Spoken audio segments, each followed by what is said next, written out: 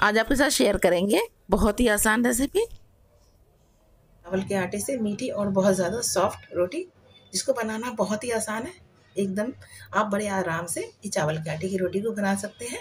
तो चलिए, इस चावल के आटे की रोटी को बनाना शुरू करते हैं।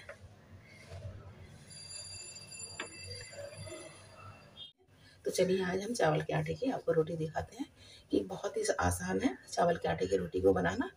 देखिए, ज़्यादा मुश्किल नहीं है। आटा होता है, वो मीठा होता है। तो आप दुकान से जब परचेज़ करें तो नया चावल का आटा होना चाहिए, ज़्यादा पुराना नहीं होना चाहिए, लेकिन लाने के बाद फिर भी आप उसको छान लें। इसको हमने पहले ही छान लिया है। ये आटा छना हुआ है हमारा। एक कप हम आटा और लेंगे। ये दो कप आटा हो गया। तो ये 500 ग्राम है।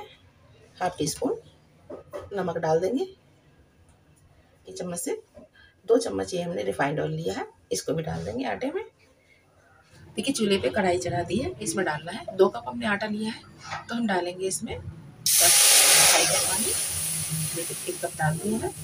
ये दो कप हमने पानी डाल दिया आधा कप पानी और डालेंगे हम। आधा कप पानी और डाल देंगे। अब इसको अच्छे से गर्म होने देंगे।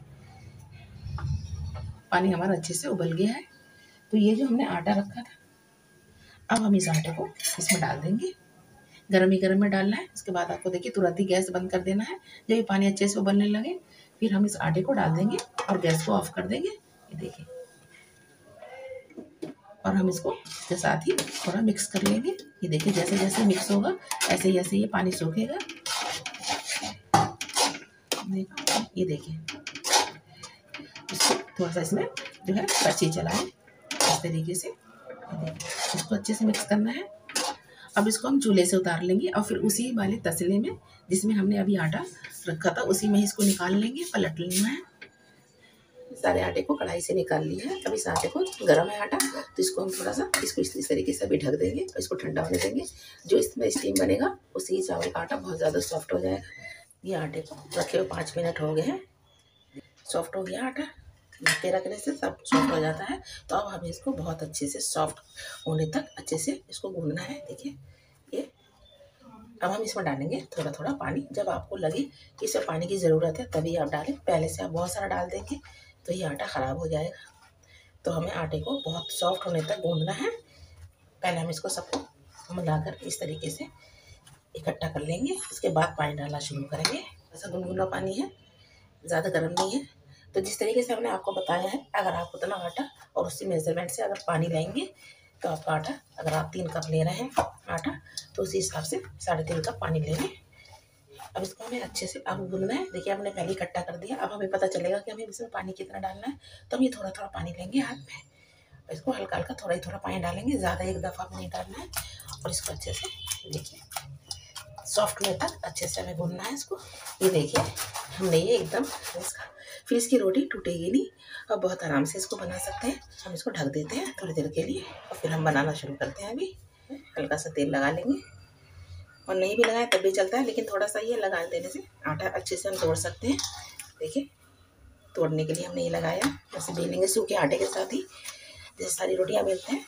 इसकी लोई थोड़ी सी आप देखिए। इतनी लेनी थोड़ी सी बड़ी लेनी है जैसे हम गेहूँ का आटा लेते हैं, उतनी भी ले सकते हैं पतली पतली भी जितनी चाहे बना सकते हैं। ये हम इसके आटे की लोई ऐसे बना लेंगे। एकदम, देखिए, इस तरीके से पहले सारी बना के ऐसे रख लें आप, ये देखिए, एकदम चिकना सा। ये लोई हमारी तैयार हो गई है। इसी तरीके से हम सारी बना लेंगे। ये लोई हमने बना ली है। अब इसको लगाएँगे हम सूखे आटे के साथ।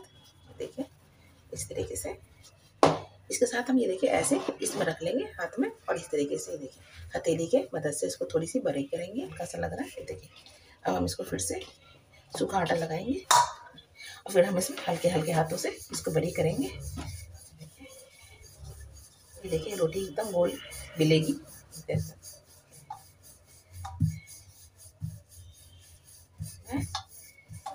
जितनी बड़ी आपको रखनी है।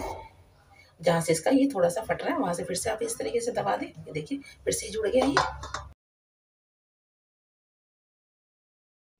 तो ये ऐसे बना के आप रख लें, पहले हम रख लेते हैं इसको। इस तरीके से इसमें रख लें, उसके बाद आप बनाएँगे। तो ये हम आपको देखिए, एक दूसरा तरीका भी दिखा रहे हैं। तो हम इस तरीके का ये टिपल ले लेंगे वैसा भी तो इसको हम इस तरीके से देखिए, रख के और दबा देंगे। इसके ऊपर बाकी का आटा ये हम निकाल लेंगे। अगर इससे बड़ी भी बना सकते हैं और छोटी भी बना सकते हैं। तो ऐसे भी, ये देखिए, अगर आपको पूड़ी बनानी हो, इसकी पूरी भी बहुत अच्छी बनती है, ये देखिए।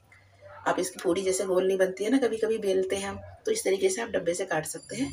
कोई आपके पास टिपन हो या कुछ ऐसा हो, जिससे आप काट सकते हैं। ये बहुत अच्छी बनती है, इसमें मसाले डाल के बनाए जाते हैं। वो भी आपको दिखा देंगे। हरा धनिया, हरी मिर्च वगैरह डाला जाता है। यहाँ तक हम इसमें चिकन भर के ही बनाते हैं। वो भी दिखा देंगे। तो ये हमने आपको काट के दिखाया है। ये देखिए, हमने ये तवा चढ़ा दिया है। ये नॉर्मली तवा है, जिस पर हम हर दिन रोटी पकाते हैं। तो ये देखिए, जब ये थोड़ा सा सूखा हो जाता है, इसको रब कर दें। थोड़ा थोड़ा सा। ये देखिए तो हम आराम से इस पर डाल देंगे रोटी।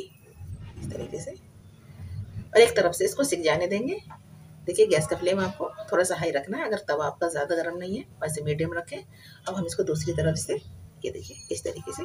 जब आप तवे पे तेल लगा देंगे तो आराम से ये रोटी घूमेगी। देखिए, बिल्कुल कोई ज़रूरी नहीं है कि हम नॉन स्टिक में ही बना सकते हैं, कि आपको इसमें भी बहुत आराम से डेली यूज़ करने वाले तवे में भी। देखिए, हम दूसरी तरफ़ इसको पलट देंगे, इसको पलट दिया है। देखिए, ये दूसरी तरफ़ से भी अच्छे से सीख गई है रोटी। अब इसको ऐसे पलट दें और छोड़ दें इसको, ये अपने आप ही फूलेगी। देखिए, ये धीरे धीरे उठ रही है ना रोटी। तो ये फूलती है, बहुत आराम से। आप इस तरीके से कोई कपड़ा ले लें और जैसे हम गेहूँ की रोटी बनाते हैं, इसी तरीके से आपको ऐसे घुमाते हुए इसको सेकना है। ये देखिए। बहुत ही सॉफ्ट, बहुत ही मुलायम होती है। अभी में अच्छी लगती है ये। तो देखिए, रोटी सीख गई है। तो हम इसको रख देंगे इस प्लेट में। अब ऐसे करके दूसरी वाली भी डालेंगे अब इस पर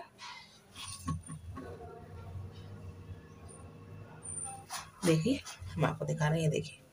इतनी ज़्यादा सॉफ्ट और बहुत ज़्यादा फूली हुई रोटी बनेगी है बहुत ही ज़्यादा सॉफ्ट होती है। इसको चाहे आप शाम को भी खाएँ और सुबह की बनी हुई है। पाँच छः घंटे के बाद भी खाएँगे, तब भी आपको ये रोटी एकदम सॉफ्ट लगेगी।